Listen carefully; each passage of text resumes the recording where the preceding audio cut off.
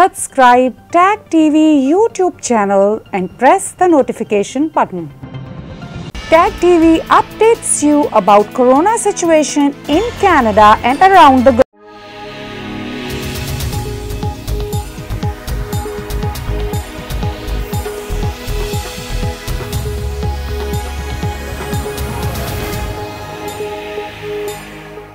बसमीम मैं हूं आपका होस्ट मुख्तार अहमद भट्ट।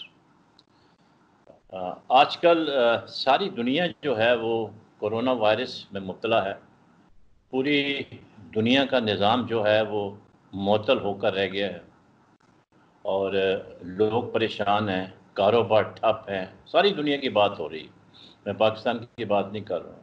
और लोग धड़ाधड़ जो है, इसका शिकार हो रहे हैं और अमवात जो है वो रुकने का नाम नहीं ले रही।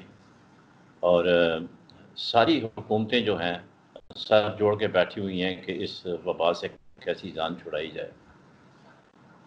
अब देखने में ये आया है कि लोगों का अल्लाह ताला में जो ईमान जो है वो बढ़ता जा रहा है और मज़बूत होता जा रहा है।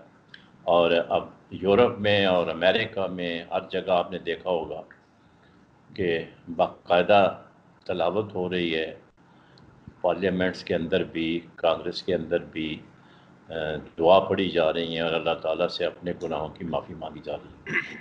ये एक बहुत बड़ी डेवलपमेंट है।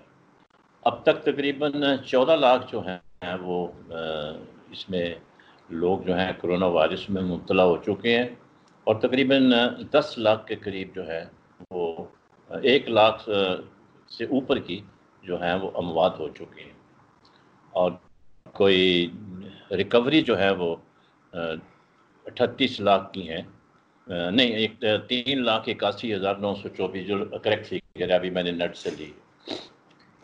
अब देखना यह है कि इस वबा के ऊपर जो फॉल बैक हुआ है लॉकडाउन की वजह से उसके क्या असरात पड़े हैं? हम बात करेंगे पाकिस्तान के हवाले से भी और इंटरनेशनल हवाले से भी। और उसमें ख़ास तौर पर पाकिस्तान की हुकूमत की कारकर्दगी को जेर बहस लाया जाएगा। हमने आज दावत दी है, मशहूर तजियाकार, senior anchor person senior journalist और कराची एडिटर्स क्लब के सदर, जनाब मुबशर मीर साहब को। ये बड़ी मुश्किल से इनसे टाइम निकाला है, क्योंकि मसरूफियत होती है ये अखबार के एडिटर भी हैं तो इनसे ज़रा टाइम लेना बड़ा मुश्किल होता है। तो आपका बहुत बहुत शुक्रिया मुबशर साहब आपने हमें अपना कीमती वक्त दिया। आ, मैं मतलब तह दिल से आपका बड़ा मशहूर हूँ। कैसे हैं आप? वालेकुम अस्सलाम भट्ट साहब बहुत शुक्रिया। और आपके साथ बात करना हमेशा एक एजाज़ होता है। और it's pleasure for me always आप जैसे मैंने शुरू में बताया कि कोरोना वायरस की वबा जो है सारी दुनिया में फैली हुई है। जैसा कि आपके इलम में इसकी इब्तदा जो है वो चीन से शुरू हुई, वुहान शहर से दिसंबर 19 में। और एक आदमी से फैलते फैलते आपने देखा कि बेशुमार लोग, हज़ारों की तादाद में वहाँ अमवात हो गई। लेकिन आपने देखा होगा कि जिस तरह से डिसिप्लिन कायम करके चीन ने इस पर काबू पा लिया अब वहाँ पे ज़ीरो है। मतलब यह है कि अब उन्होंने हर चीज़ को फ्री कर दिया है। और क्या वजह है कि जो दूसरे मुल्क हैं वहाँ पर इस तरह की जो तदाबीरें इख्तियार नहीं की जा सकें, या तो लोग डिसिप्लिन है। ये पाकिस्तान के हवाले से अगर हम देखते हैं तो इसमें आपने देखा होगा इस वक्त का टोटल जो है वो चार हज़ार आठ सौ सतानवे लोग अफेक्टेड हैं। और जिसमें जो एक्टिव हैं वो चार हज़ार के करीब हैं। और डेथ जो हैं तकरीबन सेवेंटी एट हो चुकी हैं। और रिकवरी जो है वो सात सौ छियासठ है। और सिंध में तेरह सौ अठारह टोटल हैं और नौ सौ उन्नीस जो है वो रिकवरी हुई है। और नौ सौ उन्नीस जो है वो एक्टिव हैं और अट्ठाईस लोगों की डेथ हुई है। पंजाब में उन्नीस लोगों की डेथ हुई है और वहाँ पर जो केसेस हैं वो दो हज़ार तीन सौ छत्तीस है। देखने में ये आया है कि ग्राफ जो है वो आहिस्ता आहिस्ता ऊपर जा रहा है बजाय घटने के। तो इसका मतलब ये हुआ कि जो लॉकडाउन हमने किया हुआ है, वो उसमें कोई खामी है या फिर और कोई वजूहत हैं? आप ज़रा इस पर तफसील से रोशनी डालें। जी, बहुत शुक्रिया भट्ट साहब, बहुत शुक्रिया। और कोरोना वायरस वाकई एक बहुत ही जो है वो जानलेवा बीमारियों में इसका शुमार हो रहा है और जाने जो है वो ज़ाया भी हो रही हैं और लेकिन इसके साथ साथ मुझे ये कहने की आप इजाज़त दीजिए कि बहुत सी जो है वो इसके हवाले से इनसाइड स्टोरियाँ भी आनी शुरू हो गई हैं कि जो इस सिचुएशन जो कि हमें मीडिया पे, आलमी सतह पे और पाकिस्तान में भी नज़र आती है, उसके अलावा इसका दूसरा रुख भी लोग पेश करना शुरू हो गए हैं। और इसकी अभी तक ये तहकीकात जो है वो कोई आलमी इदारा नहीं करने का ऐलान कर सका कि हम इसे वाकई जो है वो बताएँगे दुनिया को कि ये किस वजह से जो फैला और किस पे किस किसने किसकी कोताही से हुआ? आलमी ताकतों ने एक दूसरे पे इल्ज़ाम लगाए हैं। लेकिन जो आलमी इदारे हैं, खासतौर में डब्ल्यू एच ओ का ज़िक्र करूँगा, जो यू एन ओ के तहत और दीगर चलने वाले इदारे हैं, उनमें से अभी तक किसी की तरफ़ से ऐसी अनाउंसमेंट नहीं है कि जो कहें कि हम इसकी तहकीकात करके असल हक दुनिया के सामने लाएँगे। बहरहाल, जो इस वक्त दुनिया की सिचुएशन है, जिस तरह आपने बताया, अमेरिका की सिचुएशन, यूरोप की और चाइना की इसमें कामयाबियों का आपने ज़िक्र किया और चाइना कह रहा है कि हमने लॉकडाउन करके कामयाबी हासिल की है। लॉकडाउन तो इस वक्त बहुत शदीद किस्म का जो है वो यूरोप में भी मौजूद है, बरतानिया में भी है, अमेरिका में भी है और दीगर तमाम दुनिया के बड़े मुल्कों में मौजूद है। पाकिस्तान का जो एक है और इंडिया ये हमारा जो खत्ता है, इसके अंदर आपको अंदाज़ा है कि लोग सोशलाइजिंग का जो हमारा एक कल्चर है, वो बहुत ज़्यादा है। खासतौर पर ऐसे इलाकों में सोशलाइजिंग का कल्चर जो कि थोड़े, जहाँ पे लोग जो हैं वो एक से दो तीन नस्लों से मुसलसल रह रहे हैं। उनके दरमियान जो है वो आपस में बातचीत और मिलना जुलना बहुत ज़्यादा है। जो नई आबादियाँ होती हैं या जिनको समझ लें कि थोड़ी प्लांट्स एरियाज़ हैं, वहाँ पे लोग एक दूसरे के साथ बहुत ज़्यादा फेमिलियर नहीं है तो वहाँ पे तो मैं देख रहा हूँ कि इतना ज़्यादा नहीं है। लेकिन जो पुरानी बस्तियाँ हैं, उनके अंदर लोगों का मिलने का रुझान ज़्यादा है। उन्हें जिस वक्त मौका मिलता है, वो बाहर निकल के इकट्ठे हो जाते हैं। और लेकिन, जो बात है, बड़ी अहम है भट्ट साहब, कि ये पाकिस्तान के अंदर से तो फूटा नहीं है। ये वबा तो भारत ट्रैवल हुई है और ट्रैवलर्स के ज़रिए ही आई है। और जो हमारे यहाँ जो बेसिक गलती हुई, वो यही थी कि हमने इसको सूबों में बांट लिया। हमने इसको जहाँ से ये आ रहा था, वो खा, जमीनी बॉर्डर हो या एयरपोर्ट्स हो वहीं पे इसको रोक के, वहाँ पे इसको ट्रीटमेंट के बाद लोगों को आगे घरों तक भेजने की कोशिश नहीं की, बल्कि उस वक्त वफाकी हुकूमत की तरफ़ से ये मैं समझता हूँ कि एक कोताही है कि उसने उस वक्त एनडीएमए को फाल नहीं किया। जो नेशनल डिजास्टर मैनेजमेंट अथॉरिटी है, अगर वो उन्हीं पॉइंट्स के ऊपर एग्जिट और इन पॉइंट्स के ऊपर ही उस वक्त करंतना सही बना लेते तो पाकिस्तान के शहरों के अंदर गाँव के अंदर जो ट्रेवलर्स गए हैं वो बीमारी फैलाने का बायस नहीं बनते। अभी भी आप देख लें किसी एग्जिट कंट्रोल पॉइंट पे एक मैं आप आप थोड़ा बीच में ज़रा बात करना चाहूँगा। आपने दो बातों की बड़ी निशानदेही की है कि कुछ जो वाक़ात रूनमा हुए हैं उसमें ब्लेम गेम जारी है। कि जी ये कुछ सेल्फ इन्फ्लिक्टेड कोरोना वायरस है। देखिए, बात यह है कि लोग वो कह रहे हैं, चाइना से आया, वो कहते हैं, जी, अमेरिका से वहाँ गया तो बंदा गया तो उसने ये किया है। मेरे ख्याल में ये एक कॉन्स्परेसी थ्योरी है। आप देखें कि अमेरिका में सबसे ज़्यादा अमवात हुई हैं। और वहाँ पर अगर कभी किसी वजह से कोई एक आदमी मर जाता है तो वो जनाब पूरी हुकूमत जो है उसको जवाबदेह बनना पड़ता है। तो कोई भी मुल्क जो है वो ऐसा काम नहीं करेगा कि जिसमें उसके अपने ही लोग जो हैं वो लाखों में मरना शुरू हो जाएँ। तो ये एक थ्योरी है मतलब ये है कि ब्लेम गेम है at least I don't buy this idea ये एक एक मैं यहाँ पे आप व्हाट्सएप मैं आपको यहाँ पे रोकता हूँ। व्हाट्सएप मैं आपको यहाँ पे रोकता हूँ। आप मुझे बताइए कि नाइन अलेवन के हवाले से अभी तक कितनी थ्योरियाँ हैं? और उसमें भी जो जिस तरह का हुआ, उसके अंदर कोई ट्रांसपेरेंसी के साथ चीज़ें कौन सी मौजूद हैं? नंबर टू उसके हवाले से जो कमीशन की रिपोर्ट है, उनको भी आपने देखा होगा। उसके हवाले से जो स्टोरियाँ हैं, उसको उनकी इंतजामिया ने कहाँ तक डिनाई किया है। लिहाजा ये आप बात ये ना कहें कि इससे उनके अपने लोग मरते हैं।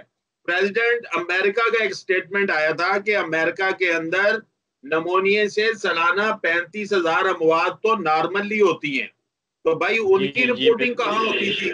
मेरा सर एक सवाल है। आप माशाल्लाह खुद मीडिया के इतने पुराने गुरु हैं। आप मुझे बताइए कि जो पूरी दुनिया में जो अमवात होती हैं बीमारियों से उसमें चंद एक बीमारियाँ ऐसी हैं टॉप टेन उनमें से एक मिलियन से ज़्यादा अमवात होती हैं सालाना। उस पे मीडिया की रिपोर्टिंग जो है क्या कॉन्टिन्यूसली होती है? कि आज कैंसर से दुनिया में sir let me finish sir let me finish आज बोले, आज सर प्लीज़ क्या ऐसी कोई खबर आपकी नज़र से गुजरती है पूरी दुनिया के मीडिया में जिसमें यह कहा जाता है कि आज दुनिया भर में एचआईवी से इतने लोग मर गए फलाम फलाम मुल्क में इतने इतने मरे। आज पूरी दुनिया में शुगर से इतने लोग मर गए आज पूरी दुनिया में हार्ट अटैक से इतने लोग मर गए आज पूरी दुनिया में फलाम बीमारी से इतने लोग मर गए। ऐसी कभी रिपोर्टिंग आपने कभी सुनी ज़िंदगी में? इसलिए मैं कह रहा हूँ मेरा सवाल सर प्लीज़ सर मेरा सवाल ये है कि डब्ल्यू एच ओ को आवाज़ उठानी चाहिए थी ये कि हम तहकीकात करेंगे कि ये मैं तो तहकीकात क्या मुतालबा कर रहा हूँ। मैं कंस्पायरेसी थ्योरी को ना एक्सेप्ट कर रहा हूँ ना रिजेक्ट कर रहा हूँ। मैं तहकीकात की बात कर रहा हूँ कि दुनिया के सामने हकायक आने चाहिए कि ये क्या है? ये कोरोना क्या कोरोना की वबा कहाँ से आई? इस तरह अमवात क्यों हो रही है? और नंबर टू इसको कंटिन्यूसली जो रिपोर्ट किया जा रहा है, उसके पीछे क्या सूरत हाल है? उसके पीछे क्या मोटिव है कि पूरी दुनिया का मीडिया एक खास एंगल से उसको रिपोर्ट कर रहा है? या बिल्कुल आपकी मैं बात का थोड़ा जवाब देना चाहूँगा, जो आपने अमवात का ज़िक्र किया, कोई एच से, कोई नमोनिया से, कोई फ्लू से, जो डिफरेंट दुनिया में बीमारी हैं उसमें आपने देखा होगा कि कारोबार ज़िंदगी जो है वो कभी मुतल नहीं हुआ इनसे, कभी भी नहीं हुआ, कोई आप मिसाल नहीं दे सकते। इसमें तो पूरी दुनिया इस वक्त लॉकडाउन है। That is the big difference between the previous जो डिज़ीज़ है, जिससे कि लोग मरते रहे हैं। बेशक इससे ज़्यादा लोग अब आज तक मरे होंगे, इसमें मैं आई डोंट डिनाई आपकी बात बिल्कुल उसमें बड़ा वज़न है। लेकिन आपने ये देखा होगा कि दुनिया सारी लॉकडाउन नहीं है, आज जिस तरह से लॉकडाउन है। इसका मतलब है कि मुझे, एक... मुझे मुझे फिर एक मुझे फिर एक बात करने की इजाज़त दे दें। सार्स सार्स का जो वायरस फैला था उस पर भी तो लॉकडाउन हुए थे उस पर भी तो एयरपोर्ट्स के ऊपर बड़ी जो है वो हुई थी। लिहाजा मैं तो बात ये कर रहा हूँ कि सार्स का जो हुआ था वायरस वो भी फैला था फॉर ईस्ट के अंदर। मैं ये कह रहा हूँ कि भाई ये कुछ भी है। लोग आप कंटिन्यूसली रिपोर्टिंग नहीं कर रहे ना दूसरी बीमारियों की। मेरा सवाल ये है हाँ। आप अगर हाँ। मैं अब ये बार बार ये कह रहा हूँ कि इसकी तहकीकात की आवाज़ उठनी चाहिए दुनिया भर से। दुनिया आपने एक पॉइंट बड़ा आपने साहब आपने एक जो पॉइंट बड़ा अच्छा रेस किया था कि वर्ल्ड हेल्थ ऑर्गेनाइजेशन को अभी तक वो कमेटी तश्कील दे देनी चाहिए थी। असल में उनसे जो बुनियादी गलती हुई वो ये हुई कि उन्होंने अपनी जो तहकीकत का दायरा था वो सिर्फ़ चाइना के रखा शुरू किया कि सिर्फ़ चाइना में क्यों अमवात हुई हैं। ये तो बाद में जब फॉल आउट हुआ है इसका और पूरी दुनिया में ये फैला है। तो अब मेरा ख्याल है उनको थोड़ा होश आ गया होगा। तो आपका ये बिल्कुल वैलिड पॉइंट है कि World Health Organization by now they should have at least given some interim report के भाई ये क्या चीज़ है कहाँ से आई कैसे हुई है? इसमें तो मतलब कोई दो राय नहीं है। तरफ़ से यही था कि भाई इसकी तहकीकात होनी चाहिए और दुनिया के सामने हकीकत आनी चाहिए। अभी हम यहाँ से सिलसिला आगे जारी रखेंगे। अभी वक्त हुआ एक मुख्तर ब्रेक का, और जहाँ से हमने सिलसिला मुनता किया, वहीं से हम शुरू करेंगे।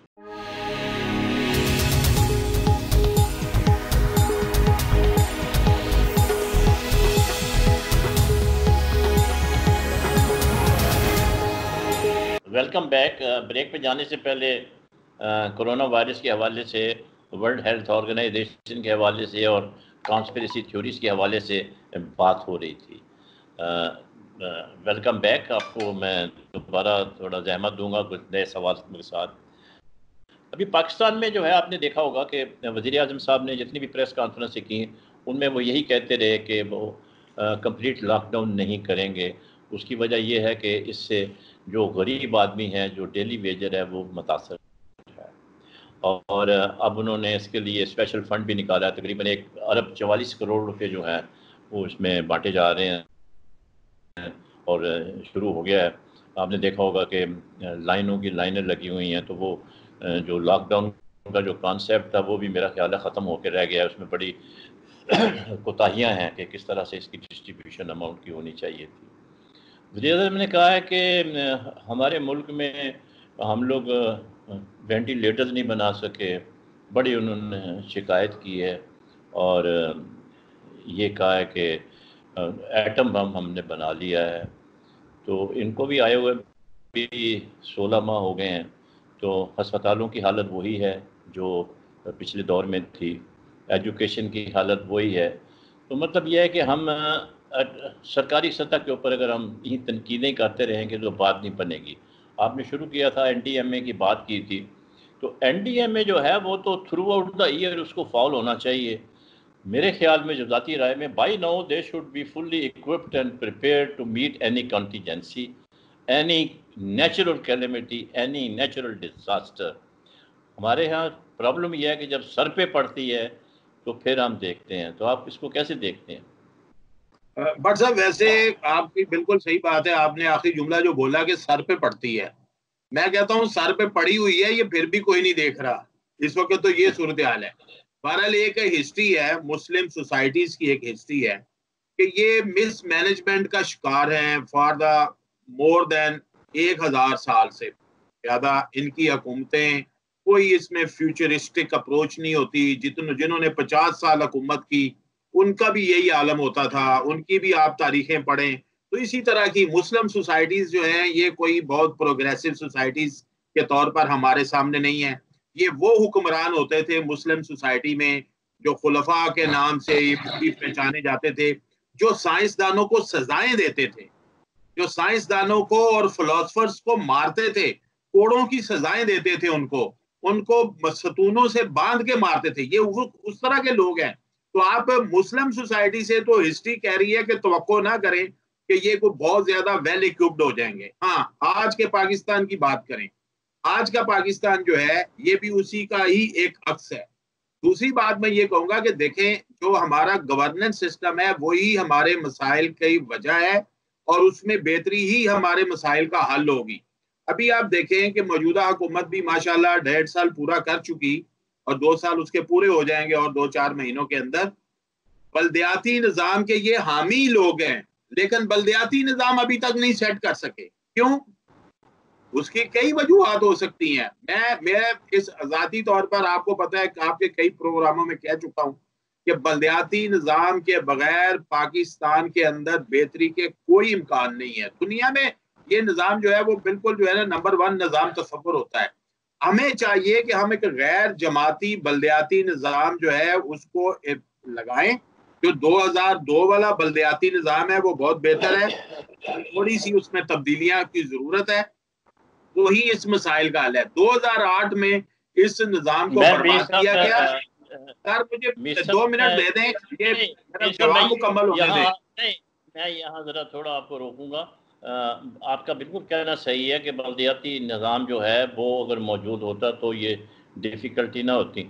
अगर आप इसको बल्दियाती निज़ाम को अगर टाइगर फोर्स के हवाले से बात करते कि नहीं, हमने ये फोर्स क्रिएट की है जो कि घर घर राशन पहुँचाएगी तो आपका कहना उस लिहाज से फिर सही होता कि अगर मेरी बात सुने सर टाइगर फोर्स आप बना रहे हैं, ठीक है, बनाएँ, आपके पास ये भी एक रास्ता है लोगों तक पहुँचने का ठीक है भाई एक गवर्नमेंट को होता है। लेकिन जो फिर भी बल्दियाती निज़ाम फिर भी चाहिए। टाइगर फोर्स कोई मुस्तकिल तो नहीं होगी। टाइगर फोर्स तो आप मतलब मैं मैं आपकी बात को सपोर्ट कर रहा हूँ हंड्रेड परसेंट कि अगर बल्दियाती निज़ाम मौजूद होता तो फिर ये हमें एक्स्ट्रा फोर्सेस बनाने की ज़रूरत नहीं होती क्योंकि यूनियन काउंसिल वाले तहसील काउंसिल वाले डिस्ट्रिक्ट काउंसिल वाले जो है वो घर घर जाके ये काम सर अंजाम दे सकते थे। मैं ये कहना चाहता हूँ हाँ, देखिए इस्लामाबाद के अंदर पीटीआई का मेयर नहीं है लिहाजा वो वहाँ पे जो है उसको जो है ना वो अपनी ड्यू जो उसकी पोजीशन है वो नहीं मिल रही। इस बाकी जो पूरे पंजाब के अंदर जो है वो सारे जो है वो एडमिनिस्ट्रेटर लगा दिए गए हैं। सिंध का मसला है कि इंटीरियर सिंध में पीपल्स पार्टी के लोग हैं फिर भी उनको काम नहीं कर रहे। और कराची के अंदर एम क्यू एम है इसलिए उनको वो एक्सेप्टेबल नहीं है। लिहाजा ये जो पाकिस्तान के अंदर ये प्रॉब्लम है कि बल सूबाई इदारों के अंदर जो सूबाई हुकूमतें हैं उनके अंडर जो बल्दियाती निज़ाम है उसको वो जमाती बुनियादों पर चलाने के लिए उस वक्त तैयार हैं कि जब उन्हीं की जमातें उन, उनके अंदर मौजूद हो अगर उनकी पार्टी के लोग नहीं जीतते तो उनके लिए वो एक्सेप्टेबल नहीं रहता अच्छा ये है हमारे हट रहे हैं सब जैसे देखिए अठारहवीं तरमीम के बाद सेंटर का अमल दखल जो है वो तकरीबन तमाम सूबों से ख़त्म हो चुका है। आपने देखा होगा कि सूबे जो हैं, वो अपनी मनमानी करते हैं और आम हालात में आपने नोट किया होगा कि वो सेंटर की बात की इंस्ट्रक्शंस की, उस तरह से अहकाम बजा नहीं लाते जैसे उनको करना चाहिए। और यही वजह है कि हमारे चीफ जस्टिस ऑफ़ पाकिस्तान ने आज खुद नोटिस लिया है और हुकूमत से जवाब तलबी की है, तमाम पूरे पाकिस्तान सूबों से भी और उनसे भी। और तमाम चीफ सेक्रेटरीज को बुला लिया है। तो और अटॉर्नी जनरल को भी बुला लिया है। दाखिला को, उनको भी बुला लिया है कि आप ये बताएँ कि आपने कोरोना वायरस से अवाम को महफूज करने के लिए क्या क्या मतलब इकदाम किए हैं? तो मैं आपसे ये पूछना चाहूँगा कि चीफ जस्टिस ऑफ़ पाकिस्तान जो हैं, उनका इस वक्त कोरोना वायरस के ऊपर शो मोटो लेना एक अच्छी बात है, या थोड़ा वेट करना चाहिए था? मेरा ख्याल है कि अभी तो बीमारी चल रही है, लेकिन पाकिस्तान में जब से एक जुडिशियल एक्टिविज्म की एक माहौल है, उसके बाद से यहाँ पे सारे काम ही अदालत के थ्रू हो रहे हैं। और बहुत से काम जो हुए हैं, वो भी अदालत के थ्रू आपको मैं एग्जांपल देता हूँ कराची बादमनी केस जो 2011 में जिसका सुओ मोटो लिया गया था और उसके बाद जितने चीफ जस्टिस आए, उन्होंने इस केस को चलाया। नौ साल गुजर गए, दसवां साल शुरू है। दस सालों में कराची में जितने बड़े फैसले हुए, उसमें बलदयाती इलेक्शन भी शामिल है, उसमें कराची ऑपरेशन भी शामिल है, उसमें और भी कई वाकयात हैं। सारे जो हैं, वो उसी के तहत हो रहे हैं। तो लिहाजा जो एग्जेक्टिव हैं पाकिस्तान के तो रियासत का एक सतून जो है, वो एग्जेक्टिव हैं, इंतजामिया। वो तो समझ ले, इस इंतज़ार में ही रहती है। मेरा ख्याल अब के अदलिया की तरफ़ से कोई हुक्म आ जाए उस पर हम अमल कर लेंगे। बाकी चीज़ों को पेंडिंग रहने दो। तो लिहाजा जो गवर्नेंस इशू हैं, भट्ट साहब, जिस तरह इसको लेके चला जा रहा है, जिस तरह अठारहवीं तरमीम के बाद जो है वो सूबे चल रहे हैं और जिस तरह जो है वो बलदयाती निज़ाम को बर्बाद कर दिया गया है, ये पाकिस्तान के मसाइल का हल नहीं है। इसी तरह आप पार्लियामेंट जो है, जो फेडरल लेवल पे पार्लियामेंट है, उसमें अलेक्टेबल्स बैठे हैं, उसमें रूसी सियासत करने वाले खानदान बैठे हैं इसलिए वहाँ पे कोई प्रोग्रेसिव बात नहीं होती, ना रिफॉर्म्स होती हैं। ये मुल्क रिफॉर्म्स के बगैर आगे बढ़ नहीं सकता। दुनिया के हर मुल्क में रिफॉर्म्स होती हैं। इसलिए वो उनका सफ़र आगे को जाता है। हमारे जो लोग बैठे हैं, ये स्टेटस को के लोग हैं। ये उसी के निज़ाम के अंदर बेनिफिशरी हैं। लिहाजा ये रिफॉर्म्स नहीं करते। आज अगर हम ये कहते हैं कि हमारी 25 फ़ीसद या 40 फ़ीसद आबादी जो है, वो गुर्बत से नीचे है तो उसकी वजह ये यहाँ का निज़ाम है। मैं कहता हूँ ये बिल्कुल ऑब्सलीट हो गया है गल सड़ गया है। इसमें लोगों को मजीद आप खत्म कर देंगे। आपको जो है वो अवाम को ज़्यादा से ज़्यादा आवाज़ उठानी चाहिए कि पाकिस्तान के अंदर इनकलाबी असलाहत वो होनी चाहिए। ये लोग जो है जो बेनिफिशरी है ये कभी भी असलाहत नहीं करेंगे। आपने सही कहा लेकिन आपने देखा होगा कि वज़ीर अजम इमरान खान ने जो एक बहुत बड़ा स्टेप लिया है जो गंदम और चीनी के बहरान के हवाले से और जो रिपोर्ट आज तक पाकिस्तान में सिस्टम यही था कि कमीशन तो बिठा देते थे, लेकिन रिपोर्ट सरेआम नहीं होती थी। तो रिपोर्ट आम की है और उनके अपने ही जो पीटीआई के लोग हैं उनको मतलब एक्सपोज किया गया है। तो इसका मतलब है कि मौजूदा हुकूमत कोशिश कर रही है कि स्टेटस को का ख़ात्मा किया जाए। तो आप वज़ीर अजम के इस कदम को कैसे देखते हैं? एक तरफ़ तो देखें कोरोना वायरस की सारी प्रॉब्लम है, सब जगह हुकूमत, तमाम हुकूमतें उसमें मसरूफ़ हैं। और दूसरा मैं आपसे ज़मनी सवाल ये पूछूँगा, क्या हुकूमत ने जो इस वक्त इमदाद दी है, क्या वो काफ़ी है या इसको मज़ीद कुछ करना चाहिए? तो पहले मैं इमदादी की बात करूँगा जो आपने इमदाद का किया है। मेरा ख्याल है कि जो एहसास प्रोग्राम के तहत लोगों के को बैंक्स अकाउंट्स में जा रहे हैं पैसे और वो एटीएम से जाके खुद निकाल रहे हैं, ये बेहतर है। और ये राशन तकसीम करने वाला सिस्टम बिल्कुल गलत है। ना राशन, अभी अब देखें, लोग पोस्टे लगा रहे हैं सिंध हुकूमत के खिलाफ कि जो फिगर वो बता रहे हैं, लोगों को राशन नहीं मिला। और जहाँ पे राशन बढ़ता है, वहाँ पे दो खातन हलाक हो गई, इतने लोग जो है वो डिस्टर्ब हो गए। सोशल डिस्टेंस वाला मामला और लॉकडाउन वाला खराब हो गया। लिहाजा बेहतरीन तरीका यही है कि जो लोग मुस्तक हैं, उनको गवर्नमेंट के पास सारे डाटा मौजूद हैं। वोटर बैंक वोट लिस्टें हैं, बैंकों का रिकॉर्ड है, नादरा का सिस्टम है थम अप इम्प्रेशन मौजूद है मोबाइल फ़ोन सिस्टम मौजूद है, लिहाजा लोगों के बैंक अकाउंट में पैसा जाना चाहिए और जो एहसास प्रोग्राम के तहत उन्होंने स्टार्ट किया ये बेहतर है। इसी को मेरा ख्याल आगे बढ़ाना चाहिए और इसके अंदर हमारे मीडिया के लोग शामिल नहीं है। मैं मुतालबा करता हूँ कि उनको शामिल भी कर किया जाए। क्योंकि बहुत से मीडिया के लोग जो हैं, पहले ही बेरोजगार हैं और उनको बड़ी मसाइल है। दूसरी बात यह है कि आपने जो अपना ज़िक्र कर रहे थे कि भाई जिस तरह हम लेके चल रहे हैं, इस पूरे निज़ाम को लेके चल रहे हैं, जिस तरह हम चाह रहे हैं कि अठारहवीं तरमीम की हमने ज़िक्र किया, इसके अलावा जो है सूबाई हुकूमतों के जो उनके पास वसाइल ज़्यादा होना, उसका ज़िक्र किया मेरा ख्याल है कि ये सारी चीज़ें जो हैं, ये हमारे लिए बड़ी जो है ना, वो उस लेवल पे चली गई हैं कि जिसके ऊपर इतनी गुफ्तगु हो चुकी है कि भाई अब जो है ना, हमें जब तक हम अपनी इनकलाबी रिफॉर्म्स की तरफ़ नहीं जाएँगे, पाकिस्तान के अंदर आगे बढ़ने का रास्ता जो है, वो महदूद होता जा रहा है।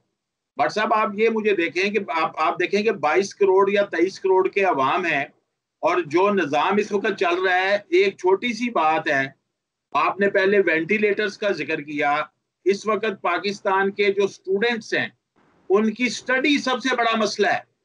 हमारे लाखों स्टूडेंट्स जो हैं, वो घरों में फारिग बैठे हैं, हर एक के पास लैपटॉप नहीं है। सरकारी यूनिवर्सिटियाँ जो हैं, अभी तक जो है, वो ऑनलाइन लेक्चर्स का सिस्टम नहीं इंट्रोड्यूस करा सके। प्राइवेट यूनिवर्सिटियाँ जो हैं, उनके स्टूडेंट्स जो हैं वो ऑनलाइन लेक्चर्स ले रहे हैं। लेकिन कितना बड़ा हमारा ये जो नुकसान हो रहा है आप ये देखें कि स्कूलों के बच्चे कॉलेजेस के बच्चे यूनिवर्सिटीज के बच्चे जो हैं उनकी तालीम जो है वो डिस्टर्ब हो गई है। ये वो वक्त है कि जब हुकूमत को तालब इलमों के हवाले से लैपटॉप स्कीम अब होनी चाहिए या है होना चाहिए। आपने बड़ी अच्छी बातें की हैं लेकिन ऐसे लगता है कि आप हुकूमत से बड़े सख्त नाराज़ हैं।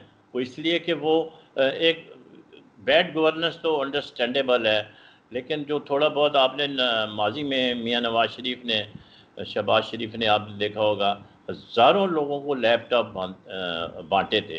तो इस हुकूमत को भी चाहिए कि ये सिलसिला जो है वो कंटिन्यू करें।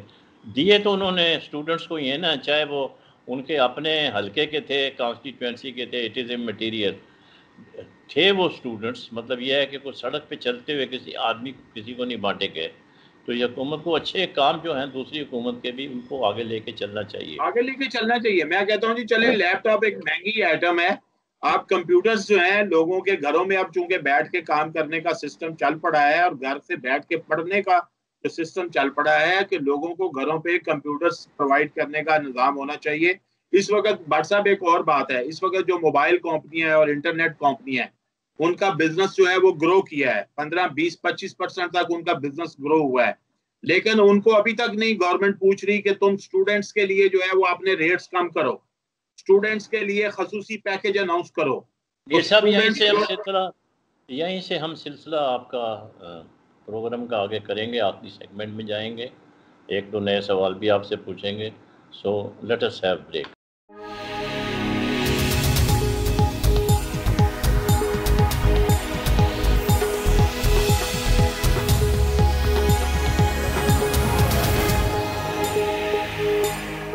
welcome back break पे जाने से पहले बात हो रही थी कि स्टूडेंट्स के हवाले से पहले हुकूमत ने लैपटॉप दिए हैं और आपका ये मशवरा है कि जो गरीब लोग हैं उनको कम अज़ कम कंप्यूटर तो दिए जाएँ। मीसा मैं तो अभी कुछ दिन हुए कुछ लोग आ, कह रहे थे कि हुकूमत ने सबको कंपनसेशन दिया है लेकिन जो स्कूलों में बच्चों की फ़ीसों के हवाले से है उसके ऊपर हुकूमत ने कोई पेरेंट्स को ख़ास कंपनसेशन नहीं दिया, सिर्फ़ एक अनाउंसमेंट आई थी कि जी फ़ीसें जो हैं वो 20 परसेंट जो हैं वो कम दें। तो आप भी समझते कि इस हवाले से जबकि हुकूमत कंस्ट्रक्शन इंडस्ट्री को भी दे रही है एक्सपोर्ट वालों को भी कंपनसेशन पैकेजेस दे रही है। तकरीबन हर जगह ही आहिस्ता आहिस्ता सबको कंपनसेशन पैकेजेस जो हैं वो, जो बच गए हैं उनको भी मिलेंगे। तो आइए जो पेरेंट्स हैं जो स्कूलों की फ़ीसों का जो मसला है, क्योंकि अभी तो ये जून में जाके कहीं स्कूल खुलेंगे तो आप ही समझते कि ये इनकी फ़ीस जो है वो कम से कम फिफ्टी परसेंट तो माफ़ होनी चाहिए। व्हाट्सअप मैं इसमें ये दो चीज़ें हैं, एक स्कूल की फ़ीस का मसला है और एक किराएदार के लिए किराए का मसला है। आप देखें, ये दो चीज़ें हैं जो प्राइवेट शोबे से गवर्नमेंट डिमांड कर रही है। अगर प्राइवेट स्कूल चलाने वाला जो है, वो आगे टीचर्स को भी सैलरियाँ देगा, उसका बिल्डिंग का किराया देगा, सब कुछ करेगा। या तो गवर्नमेंट उसे कहे कि भाई ट्वेंटी परसेंट या ट्वेंटी फाइव परसेंट तुम माफ़ करो। ट्वेंटी ट्वेंटी फाइव परसेंट तुम्हारे अखराज को हम बियर करेंगे और फिर जो है, वो स्टूडेंट्स को आप जो है, वो फिफ्टी परसेंट दे दो। गवर्नमेंट जो है, वो अपने ऊपर भी तो ज़िम्मेदारी ले। इसी तरह गवर्नमेंट का एक तरफ़ से एक अनाउंसमेंट आई हुई है अभी तक। कि जी, जो जिन लोगों ने घर किराए पे दिए हुए हैं, वो किराएदार से 50 परसेंट कम लें। तो भाई, अगर किसी का सिस्टम उस किराए पे चलता है तो आप उसे कैसे रोक रहे हैं? या तो आप कहें कि भाई, ये 50 परसेंट तुम किराएदार को माफ़ करो, हम इसमें से 25 परसेंट कम अज कम जो है तुम्हें कंपनसेट कर देंगे। तो गवर्नमेंट जो है अनाउंसमेंट पे ना जाए, बल्कि अमली इकदाम तो यही है कि वो गवर्नमेंट अपना जो बजट है, जब भी मैं आपको बताऊँ कि एक सौ अरब रुपए की सब्सिडी अनाउंस की गई है एनर्जी सेक्टर के लिए। जब हमने बिजली के बिल जमा करा दिए हैं, लोगों ने इंतज़ार किया, किसी यानी कि ना ना के की तरफ़ से, ना वापडा की तरफ़ से कोई अनाउंसमेंट नहीं आ रहा था। और लोगों को ये खौफ पैदा हो गया कहीं उनकी बिजली ना कट जाए। तो गवर्नमेंट जो है ना अनाउंसमेंट तो कर रही है, लेकिन अमली इकदाम नहीं कर रही। सीधा सीधा एक फार्मूला जो है ना, वो बनाने चाहिए। कि भाई अगर आपके 200 यूनिट हैं तो 200 यूनिट आपके गवर्नमेंट पे करेगी, बाकी के आप करें। लेकिन ये जो सिर्फ़ अनाउंसमेंट करके और दूसरे लोगों को कहना कि तुम लोग करो, ये बिल्कुल गलत है। अपने ऊपर से ज़िम्मेदारी हटाने वाली बात है। हुकूमत को चाहिए कि वो वो स्कीम और वो तरीका कार अख्तियार करे जो वर्केबल हो, जिसको इम्प्लीमेंट किया जा सके। और जिसको जो प्राइवेट सेक्टर इस वक्त ज़्यादा सर्विसेज़ दे रहा है और प्राइवेट सेक्टर उसको एक्सेप्ट करे। आप आप अपने ऑफ़िस से बैठ के एक ऑर्डर जारी कर दें और उसका बिल्कुल गलत इम्पैक्ट हो जाएगा, वो बिल्कुल गलत है। जैसे मैंने अभी आपके पहले सेगमेंट में जब वक्फे से पहले आपसे बात हो रही थी कि मीडिया के हवाले से प्राइम मिनिस्टर साहब के साथ सहाफियों की मुलाकात में उन्होंने कहा, जी मीडिया का एक पैकेज बन रहा है। आज कितने दिन गुजर गए हैं मीडिया का कोई पैकेज नहीं आया। मीडिया के लोग जो हैं वो कितनी मुश्किल में है। अखबार में हम काम करते हैं अखबार कितनी मुश्किल में है। अखबार के अंदर इश्तहार भी बंद हुए हैं, गवर्नमेंट ने उसके पैसे भी रोके हुए हैं। उसके अलावा अखबार की तरसील कितनी मुश्किल हुई हुई है। लोगों के लिए काम करना मुश्किल हुआ हुआ है। लेकिन अभी तक वो उन्होंने अखबार के लिए जो है वो कोई चीज़ जो है ना वो अनाउंस नहीं की। तो ये तो वो चीज़ें हैं कि मसलन जैसे कोरोना गुजर जाएगा, उसके बाद चीज़ें अनाउंस होंगी क्या? जब लोगों के अभी लोगों की खुदकुशियाँ जो हैं, उनकी खबरें आनी शुरू हो गई हैं। घरों के अंदर लोग जो सफ़ेद पोश हैं किसी से मांगने की बजाय मरने को गवारा कर रहे हैं। तो आप ये सोचे ये किसके ऊपर आएगी चीज़? ये हुकूमत की और नाली के ऊपर आएगी। मीर साहब आपने जो बात की है ये बड़ी इसमें बड़ा वज़न है इस बात में कि जो मीडिया के लोग हैं जो बेरोज़गार हैं जिनके पेंडिंग बिल्स हैं और वैसे भी इश्तहार जो हैं तकरीबन 50 परसेंट कम हो गए हैं। तो गवर्नमेंट को चाहिए कि जो ड्यूज़ हैं, वो तो फौरी तौर पर उनको क्लियर करने चाहिए। अभी जैसे स्टेट बैंक ने, आपने देखा होगा कि उन्होंने कहा है कि कोई भी जो फैक्ट्री वाला है मालिक है, वो अपने मज़दूरों को मत निकाले। उनकी जो सैलरी है, वो सैलरी उनको दें। हम आपको फाइव परसेंट पे लोन देंगे फाइव परसेंट पे जो आपकी सैलरी पैकेज बनता है। और उसके बाद फिर हम आपसे दो साल में ये रिकवर करेंगे। तो फाइव परसेंट तो मेरे ख्याल में ये एक अच्छा स्टेप है जिसको अप्रिशिएट करना चाहिए। लेकिन आखिरी में आपसे जानना चाहूँगा कि इस कोरोना वायरस के हवाले से सारी दुनिया में मीडिया का रोल क्या रहा है? क्योंकि आप मीडिया के एक विज़र्ड हैं तो आपकी राय का भी एहतराम किया जाता है। अब जो ख़बरें आ रही हैं इंटरनेशनल प्रेस से वो ये हैं कि media has played a very dirty role in showing the negativity के जो ख़राब चीज़ें हैं, उनको बड़ा हाईलाइट करके पेश किया गया है। और बाज़ात उन्होंने ये भी चैलेंज किया है प्राइवेट कैमरा मैन चले गए हैं। उन्होंने जाके फ़िल्में बनाई हैं और बताया है कि जो जो ऑफिशियल मीडिया जो बड़े बड़े चैनल रिपोर्टिंग कर रहे हैं, वो सही नहीं है। तो उसी तरीके से अगर आप देखें तो पाकिस्तान में भी, आपने देखा होगा कि जिसको राशन नहीं मिला उसकी तो मतलब वीडियो वगैरह आ जाएगी। लेकिन एक आदमी जो आठ दफ़ा राशन ले रहा है लाइन में रख के, उसके बारे में मतलब नहीं आ रही खबरें। तो ये मतलब ये है कि अगर आप हर वक्त ही नेगेटिव सोच रखेंगे तो मुनासिब नहीं है। ये तो कभी नहीं हो सकता कि किसी भी हुकूमत में सारे ही काम जो है वो ख़राब हो रहे हों। वही काम अच्छे भी होते हैं। तो तो मीडिया का भी एक बड़ा रिस्पॉन्सिबल रोल है जो कि वो अदा नहीं कर रही। अच्छा भट्ट साहब, आपने मेरी बात की तयद कर दी है जो मैंने शुरू में बात की थी। तकरीबन वही गुफ्तु आपका सवाल तकरीबन वही है। मैं कहता हूँ कि इस वक्त हम पाकिस्तान, वैसे इंटरनेशनल अगर हम बात करें तो इंटरनेशनल देखें, हमें एक साइड का वर्जन मिल रहा है, यही मेरी राय है। और उसमें राय क्या में वेस्टर्न जो मीडिया है, उसी का वर्जन है। उसमें बीबीसी का है, उसमें सी एन एन है, वो है। इसमें जो नाकामी है या बहुत ज़्यादा चैलेंज आ गया है, वो चाइनीज़ मीडिया के लिए है रशियन मीडिया के लिए है ईरानी मीडिया के लिए है टर्किश मीडिया के लिए है। ये चार वो मुल्क की मैं निशानदेही कर रहा हूँ, जिनको सोचना पड़ेगा कि हमें मीडिया के ऊपर इन्वेस्ट करना चाहिए। पाकिस्तान के में जो हो रहा है कि पाकिस्तान में तो हुकूमत के पास इतना बड़ा इदारा है, रेडियो पाकिस्तान और पाकिस्तान टेलीविज़न, दो बहुत बड़े जो हैं वो इदारे हैं बट साहब। पाकिस्तान की गवर्नमेंट को उनको इस्तेमाल करना ही नहीं आया। कि वो गवर्नमेंट जो है, वो अपना पाकिस्तान टेलीविज़न के छह सात चैनल को किस तरह करे? बल्कि वो फॉलोअर नज़र आया हमें। वो लीडर नहीं नज़र आया फॉलोअर बना दिया गया। अब वो प्राइवेट मीडिया के एक अपने मॉडल है। प्राइवेट मीडिया का बिज़नेस मॉडल होता है। प्योरली बिज़नेस मॉडल वो बिज़नेस के हिसाब से चले हैं। मैं आपको बताऊँ, इस वक्त पाकिस्तान के इलेक्ट्रॉनिक मीडिया पे वो इश्तेहार चल रहे हैं। जो प्रोडक्ट मार्केट से शॉर्ट है इसके बावजूद इश्तेहार चल रहे अगर आप इजाज़त दें मैं उन प्रोडक्ट के नाम भी बता दूँ। मार्केट में जाए वो चीज़ अवेलेबल नहीं है। मार्केट में जाए वो चीज़ शॉर्ट है। मार्केट से खत्म है। प्रोडक्शन उसकी जो है वो शॉर्ट हुई इतनी डिमांड हुई है। लेकिन इश्तेहार नहीं रुक रहा। अब इसके आप इसमें फ़ूड फॉर थॉट छोड़ रहा हूँ। फ़ूड फॉर थॉट छोड़ रहा हूँ। मैं इसको मैं इसको अनफोल्ड नहीं कर रहा। मैं सुनने वालों पे छोड़ रहा हूँ। क्यों चल रहे हैं? इसको आप आप भी आप तो खैर पहुँच गए हो हमारे। लेकिन मैं यहाँ पे एक चीज़ एक एक सर मैं एक चीज़ अर्ज़ कर दूँ। वो ये है कि मेरा ख्याल है कि जो पाकिस्तान के जो मीडिया है वो तो अभी अभी भी वो इमेच्योर क्या है वो तो कारोबारी इदारे हैं बिज़नेस हाउसेज हैं। उन्होंने अपने बिज़नेस के हिसाब से चलना है। लिहाजा उनके ऊपर तो ना जाए ना उनके ऊपर कोई बहुत ज़्यादा तो रखे। तो रखनी है तो आप रखें अपना जो आपका सरकारी मीडिया है जिसको आपको यूज़ करना नहीं आ रहा। मुबशर साहब ने बिल्कुल खुल के बातें की हैं और बड़ी कुछ अच्छी भी तजावीज़ दी हैं जिससे कि अगर हुकूमत इसको अपनाए। एक तो ये है कि तो राशन सिस्टम जो है इसको इम्प्रूव करना है और दूसरा जो है यूनिवर्सिटीज़ के जो बच्चे हैं उनके लिए लैपटॉप तो एक महँगा आइटम है तो उसकी जगह उनको पीसीज वगैरह प्रोवाइड कर दिए जाएँ वो, वो सस्ती आइटम है।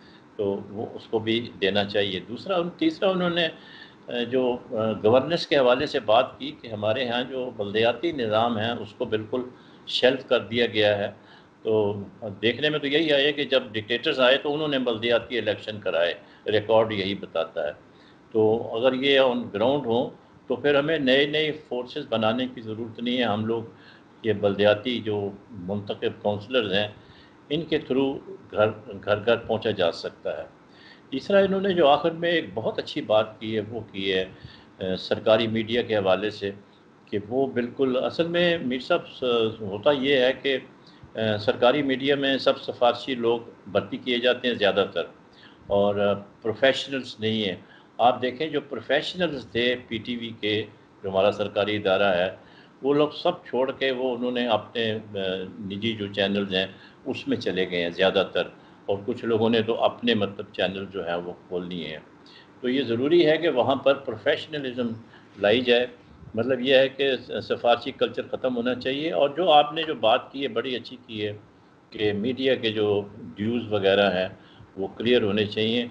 जबकि कोरोना वायरस की वजह से every segment of the society is affected including media तो मतलब मीडिया को एक आइसोलेशन में नहीं देखना चाहिए, बल्कि उनके जो जायज़ मुकाम हैं, वो उनको मिलना चाहिए और उनके जो ड्यूज़ हैं मिलने चाहिए, क्योंकि महँगाई सबके लिए है।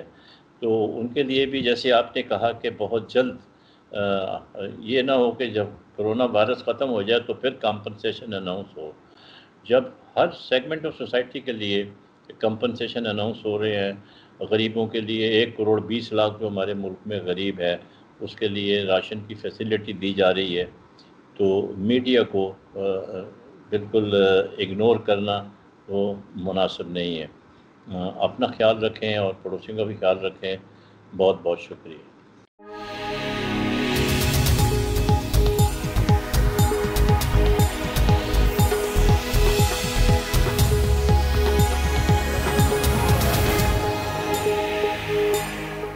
Subscribe Tag TV YouTube channel and press the notification button. Tag TV updates you about corona situation in Canada and around the